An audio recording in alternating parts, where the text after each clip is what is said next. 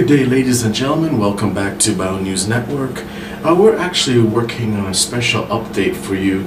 Uh, we've been monitoring the storms in the region of uh, Dallas, Irving, Waxahachie, Central Texas, as well as Central Oklahoma for most of the most of the day. And uh, we've actually found that it's been very, very severe for a lot of the residents in the regions of even Colorado and Mississippi, with many people, thousands of residents facing uh, severe flash flood issues all across the country.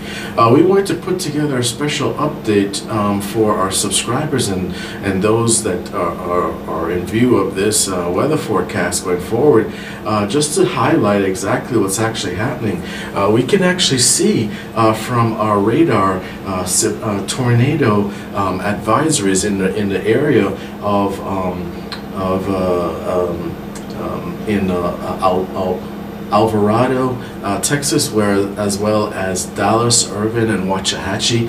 Um, as you can see from the system, uh, we're pretty much lining up with the central area of central Texas going into um, also into uh, north um, uh, Kansas. Uh, if you take a closer look, we actually see that this low pressure system, which is our upper level low, is actually making its way further into the region of the four corners. And with that said, uh, we're going to see a lot more thunderstorm activity along the I-35 corridor um, uh, in the regions of um, Dallas as well as uh, Houston. We'll actually see more intense um, thunderstorm activity actually getting into um, uh, uh, later on tonight, Sunday, going into um, into uh, tomorrow, Monday. We anticipate that it's going to be pretty heavy thunderstorm activity for the regions of um, central Texas, Kansas, um, and keep in mind the influence of this uh, this low pressure uh, trough that's in the region.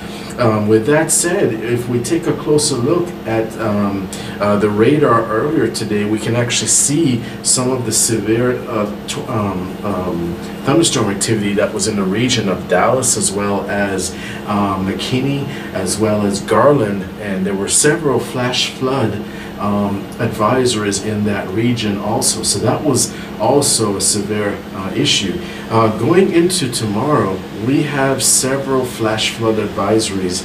Uh, we're looking at flood, uh, flash flood advisories for um, uh, uh, Russell in Kansas, as well as Nueces County in Texas, as well as uh, Matagorda County in Texas, and and uh, and uh, Wharton County.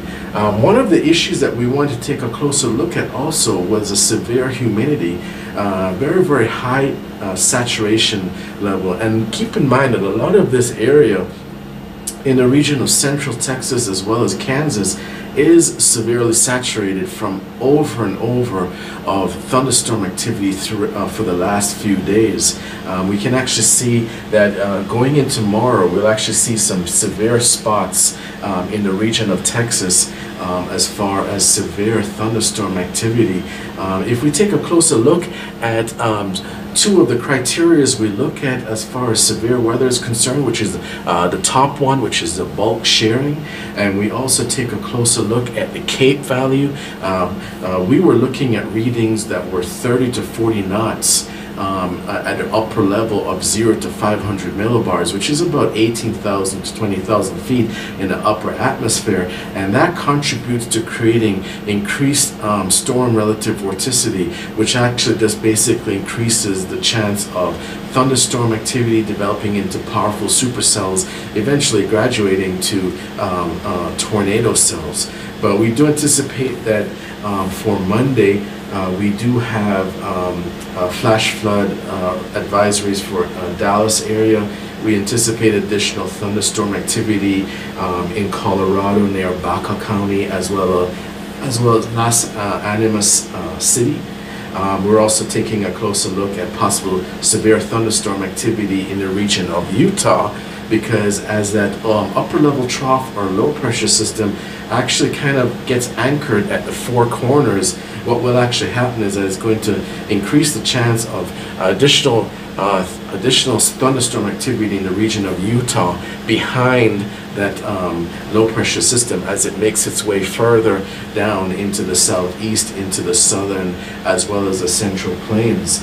Uh, going into tomorrow, uh, we are also looking at um, enhanced risk for the following cities uh, Lubbock, te Texas, uh, Amarillo, Texas, uh, Plainview, Texas, uh, Pampa, Texas, and Canyon, Texas. And these are actually cities that have been named by the Storm Prediction Center with the natu nat natural National Weather Service. So basically we're looking at very, very severe thunderstorms continuing throughout the day. Uh, if you also take a closer look at our presentation for temperature anomalies, you can see that in the eastern side of the country, uh, temperatures are generally relatively uh, cooler compared to the northern section of the county, uh, of the country, where uh, we have temperatures that are 12 to 10 to 12 degrees above normal for states such as Oregon, Idaho, Montana, and also um, Wyoming, North Dakota. So, and then actually you take a closer look at the deep uh, to the south, uh, southeast states. Um, you know, even areas in um, in uh, in Mississippi are 13 degrees cooler than normal. If you take a closer look at the Virginias, um, temperatures are like 15 degrees below normal. So there's kind of a contrast uh, between uh, different areas of the country at this time as far as the type of weather that they're facing. Um, going forward into Monday and Tuesday, we anticipate more intense shower activity. Um, we anticipate that um, there's going to be additional risks for uh, severe thunderstorm activity for residents of Dallas and Fort Worth, also Denver, Colorado, um, Oklahoma City, as well as Kansas City, Missouri. Um, and we anticipate going in also for the Texas Panhandle uh, region. Um, there's going to be additional thunderstorm activity, folks. We are looking at um, very, very high CAPE uh, values, uh, mixed layer uh, convective available potential energy values um, um, to the tune of 2,500 to 3,000 joules per kilogram. And basically, to weather enthusiasts, that basically translates into a lot of, of, um, of, of, of um, potential energy for the creation of thunderstorms. Anything above 2,000 uh, folks is going to be pretty intense. So we're going to be continuing to monitor the radar going into um, uh, Monday we just anticipate that um, there's just going to be additional um, thunderstorm activity. Even in range, even in the state of Missouri, um, we anticipate that there will be th uh, severe thunderstorm activity, and we we anticipate that there will be several tornado warnings issued throughout the state of Texas as well as um, central Oklahoma going into tomorrow.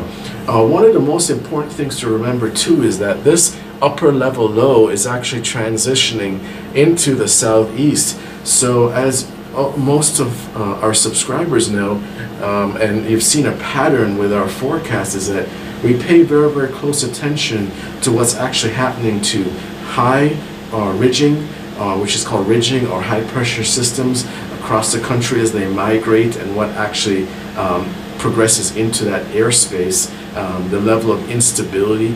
And we do know that as this uh, low pressure trough actually kind of anchors its way on the four corners, and we see four corners, we're looking at the states of uh, New Mexico, Arizona, um, uh, Colorado, as well as Utah. And Colorado already received a lot of, of very, very severe thunderstorm activity uh, for today. So we anticipate that as this low pressure system actually starts making its way further down and those isobars start tightening, it's going to be more severe uh, thunderstorm activity. Uh, do keep in mind that the surface temperatures of the Gulf of Mexico are quite warm at this particular time.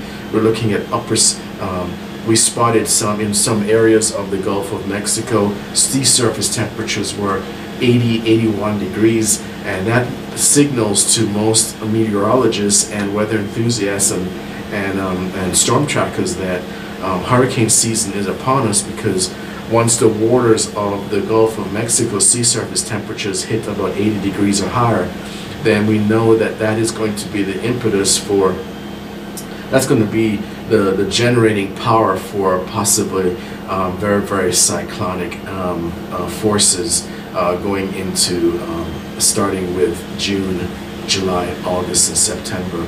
And we do anticipate that there's going to be additional storm activity for um, increased um, named storms, increased severe hurricanes, and also um, uh, mapping through um, all of the a majority of the names that have been assigned to this season. But primarily, let's go back to Monday and Tuesday of this week for residents of the Pan Texas Panhandle, as well as um, uh, uh, Oklahoma, as well as Kansas. Um, uh, do keep in mind that we anticipate that there will be several uh, what's called mesoscale um, advisories, which is basically severe, uh, severe weather advisories for that area. And as always, here at Bow News Network, we will continue to monitor the radar and bring those updates to you as soon as possible. Um, one of the prevailing um, um, one of the prevailing issues with these severe thunderstorms and possibly with, with is that um, on the radar we're seeing that possibility of hail in the range of an inch and a half to two inches. We're seeing very, very large um, local spotter reports of very, very large hail. And basically, that's basically signaling that the vorticity of these storms allows that um, um, uh, precipitation to keep recirculating and formulating into larger and larger um, uh, um, size hail, which eventually ends up on the ground, injuring uh, property, uh, damaging property, and causing potential um, damage to citizens. So that is definitely one of the main concerns that we have going into Monday and Tuesday with severe weather activity uh, is going to be very, very large hail. And as always, um, if there are going to be any tornado um, um, alerts for the region, definitely by all means uh, keep your uh, your ears, your eyes, and uh, your senses open to all all avenues of media uh, going into Monday and Tuesday, so that you're aware of all of the weather happenings in your area. Turn to social media, turn to the radio, turn to TV, whatever avenues you need to protect yourself and protect your property. Most importantly, your life. Uh, going into the uh, going into Monday and Tuesday because we do anticipate very very severe weather. Um, as far as a severe risk is concerned, enhanced risk, uh, we do anticipate for an enhanced risk residents of um, uh, Lubbock, Texas,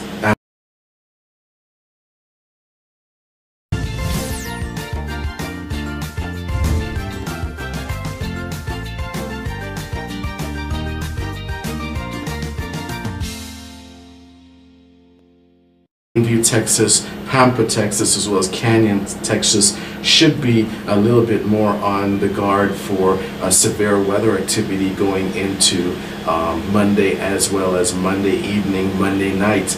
Uh, one of the concerns we have also, it all depends on cloud cover, will be the impact of surface heating and what impact that has on the increased likelihood of cyclonic uh, cyclogenesis, which basically means the generation of tornadoes as well as supercells and very, very severe weather. But we do see that there is um, very, very high CAPE, CAPE values. Uh, we're not quite sure as far as what um, any kind of capping forces that are going to be impacting the formation of tornadoes, but we do anticipate based on the severity of the enhanced um, uh, uh, advisories from the um, Storm Prediction Center that uh, Monday, Monday evening, Monday night will be difficult.